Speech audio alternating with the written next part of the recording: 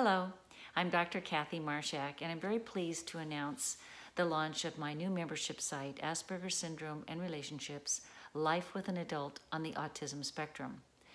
The website isn't quite ready. I've actually spent a couple of years researching it and thinking it all through to make sure that it, it becomes the right community for neurotypicals who are in the, these relationships.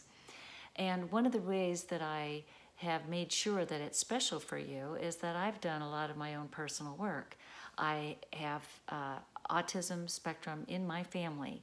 My mother was on the spectrum, my husband was on the spectrum, and my daughter is on the spectrum. So I have the personal experience, and as a psychologist, I did my research. I've written three books on this subject as well. So this isn't just a community of people who get together and commiserate. I guide you through your recovery in this community, through the various uh, methods of communicating on the website, such as our forums and video calls and uh, teleconferences and Dr. Kathy's office hours. So I think this is a much needed community. I'm happy to be part of it, and I'm looking forward to meeting all of you.